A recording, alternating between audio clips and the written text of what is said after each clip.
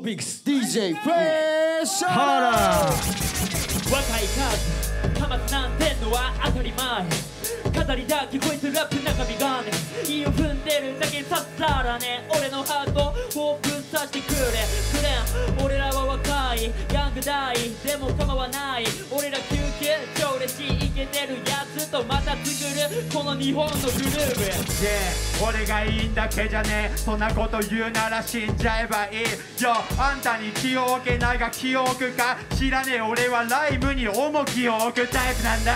Yeah しっかり音に乗って言葉を伝えんだよ。あんたもおかしいぜ。最後のいい毎度りステージ下に舞い戻り。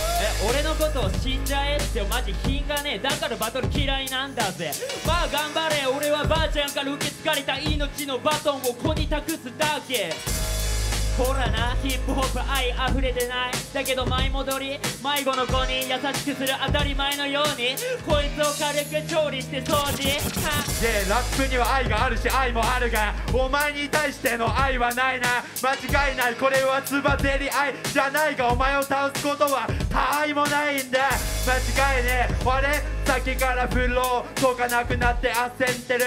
どういうこと？よマジでどういうこと？おばあちゃんどうこう？どうぞよそうか。俺に対して愛がないか。じゃあナルトとサスケみたいなマジなライバルだ。いや盛り上げようよ。俺は脇役者になりたくないからむちゃくちゃになるか書いたワンバス。Yeah 鏡の前じゃなくてみんなの前で歌えてることに感じているし合わせても今だけ。これは嫌だぜ。だから俺は曲をマイクして日本で羽ばたきで幸せ間違いで何かのしわ寄せ知らねえ合わせる目と目取ってやるレントゲン。でもって後では手と手ぶっ殺して動機が相手と手 Yeah じゃあそこから教える。死因？悪役で上等。下道で上等。知らねえ。お前がどうこう言ってきたところでそれは全ていたちごっこだよ。Yes! yes.